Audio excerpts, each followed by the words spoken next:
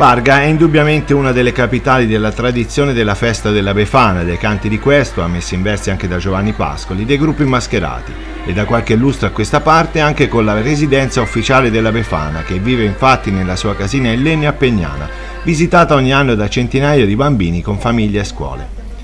Per tutti questi motivi la tradizione qui è forte e tanti sono gli appuntamenti in programma sia il giorno della vigilia che il 6 gennaio.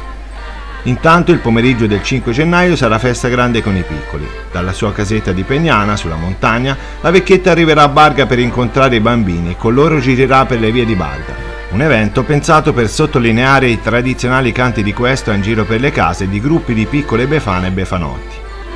La sera invece spazio ai gruppi mascherati della Befana e dai più grandi con il ritorno della rassegna delle Befane in Piazza Angelio con musica, cose buone da mangiare ed i premi riservati alla Befana più bella, al gruppo più bello e ai migliori Befanotti.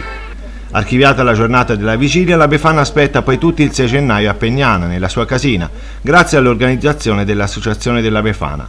Qui raccoglierà nuovamente grandi e piccini con tante sorprese per dare a tutti il suo ultimo saluto prima del meritato riposo.